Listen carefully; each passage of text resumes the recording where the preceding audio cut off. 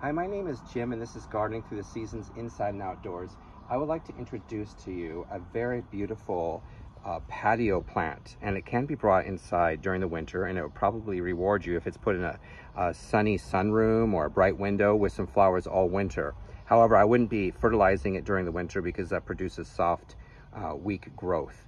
Anyway, what I love about this this oleander is actually called peach blossom and I got it from Logee's. But what I love about it is it has these double rose-like flowers and it blooms and blooms and blooms all summer into the fall. No problem. It's got these lovely evergreen leaves and it is poisonous. So keep that in mind.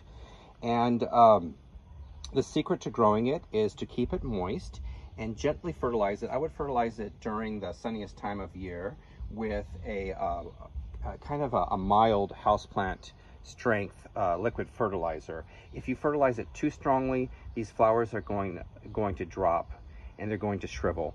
And this plant is extremely tolerant to high temperatures. That's why it's so lovely for a summer blooming, all summer long blooming plant. Like my videos, subscribe, and we'll see you next time.